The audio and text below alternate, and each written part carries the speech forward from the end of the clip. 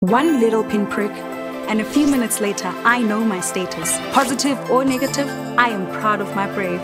Positive, I start treatment now. I have big plans and I will not be stopped. Negative, prevention is my goal.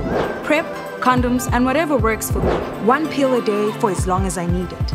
If I do get side effects, I handle that knowing this too will pass. More than 90% protection against HIV guaranteed, versus possible side effects that may or may not happen to me and won't last. For me, it's no contest. I choose PrEP. So talk to me. Tell me that I'm not strong enough and I will destroy every barrier in front of me. As if I've never tasted the bitter before. I don't need sugarcoating. I am everything. Let me tell you about a life built with bare hands, determination, survival. Uzuva strong. I am golden in Gauteng. Courageous in the cave. Unstoppable in Tata. I claim my future.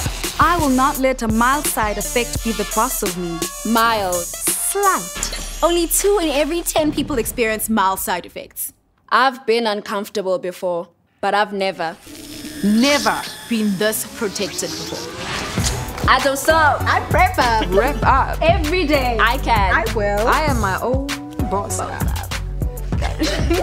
PrEP is a new, safe HIV prevention method for HIV negative people to reduce their risk of becoming infected.